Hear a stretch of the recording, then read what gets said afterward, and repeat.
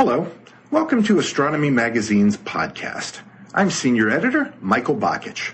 In this week's show, I'm taking you on a tour of the constellation Scorpius, the Scorpion. To the Greeks, Scorpius represented the deadly beast who ambushed and slew Orion the Hunter as he walked along his favorite hunting trail. To the natives of the South Pacific, this star pattern represents the hook of the god Maui. As he cast the hook into the sea, Maui hauled in quite a catch.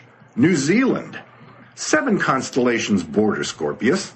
Ara, the altar. Corona Australis, the southern crown. Libra, the scales. Lupus, the wolf. Norma, the carpenter's square. Ophiuchus, the serpent bearer. And Sagittarius, the archer.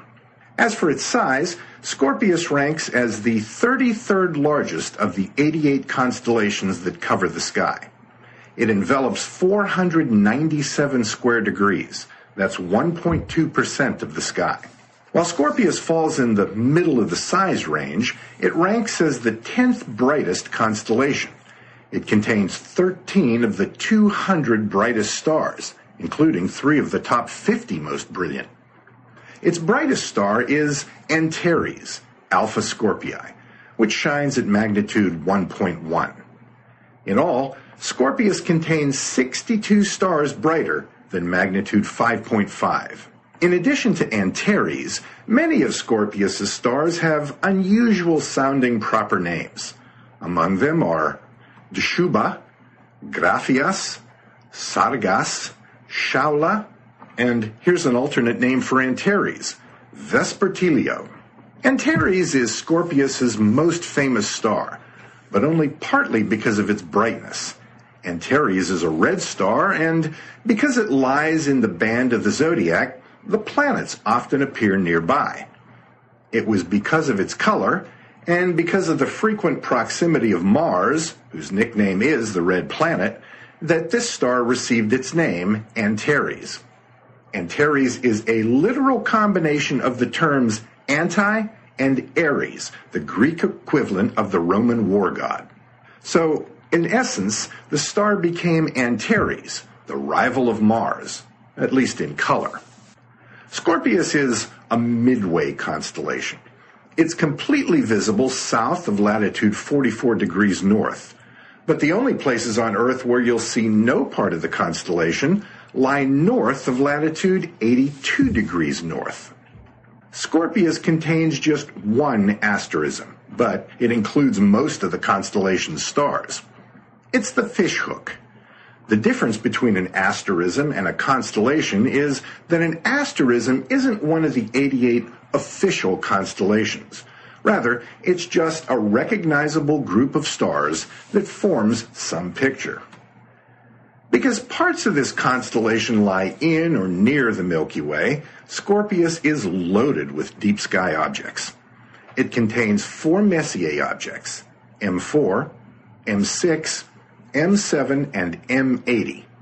M4 and M80 are globular clusters, while M6 and M7 are open clusters. Look about one degree west of Antares for M4. This spectacular cluster shines at magnitude 5.8, and sharp eyed observers have no trouble spotting it naked eye from a dark site. M4 lies closer to a first magnitude star than any other Messier object, and it's the closest globular cluster to Earth. This ball of suns lies only 5,600 light years away. Another Messier object, M80, lies about midway between Antares and Beta Scorpii. M80 appears smaller and at magnitude 7.3 fainter than M4, and it should. M80 lies more than six times farther away than M4 and only 12,000 light years from our galaxy's center.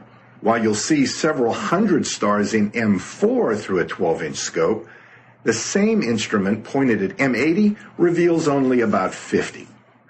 As you tour Scorpius, don't miss the planetary nebula NGC 6072, which lies 8 degrees west southwest of Epsilon Scorpii. Through a 6 inch scope, NGC 6072 appears as a uniform disk one arc minute across. Through larger scopes equipped with nebula filters, you'll see a dark lane dividing the northern half from the southern.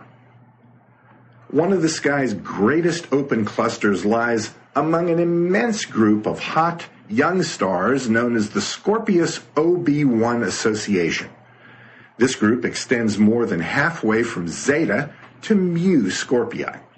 To the naked eye, this thin band of stars looks like a large, diffuse comet.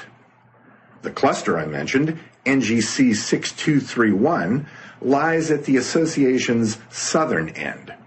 Astronomers have dubbed it the Northern Jewel Box, a reference to a similarly magnificent cluster called the Jewel Box, which lies in the constellation Crux, the Southern Cross. NGC 6231 contains more than 100 stars in a 12 arc minute wide circle. A knot of a half dozen bright stars stands out in the center. Many 10th and 11th magnitude stars surround this core and make the northern jewel box a stunning sight. Just north of the center of a line joining Lambda and Mu Scorpii lies one of the sky's brightest and most massive planetary nebulae. It's called the Bug Nebula, and it's also known as NGC 6302. While most planetaries are round, the Bug Nebula is four times longer than it is wide. If your sky is steady, Crank up the magnification to see some great details in this celestial showpiece. And speaking of showpieces, move two degrees northeast of the Bug Nebula to find the Cat's Paw Nebula, NGC 6334. This massive cloud of hydrogen ranks among the Milky Way's largest star forming regions. Through an 8 inch telescope equipped with a nebula filter, you'll spot five individual nebulous patches spanning an area half a degree across. To the upper left of the two stars marking the Scorpion Stinger, you'll find the Butterfly Cluster, M6, and Ptolemy's Cluster, M7. Both of these open clusters stand out easily to the naked eye, and their magnitudes tell you why. M6 glows at magnitude 4.2, and M7 shines even brighter at magnitude 3.3. Binoculars that give magnifications of 10 and higher work great for viewing these clusters, as do wide field telescope eyepiece combinations. At higher powers, a 6 inch scope shows 50 stars in M6 and more than double that number in M7. And with that, I'll wrap up our look at Scorpius. To see a chart of this constellation or watch a video version of this podcast, look for this episode's page at astronomy.com slash podcast. If you have any questions or comments about this episode, you can contact us at podcast at astronomy.com.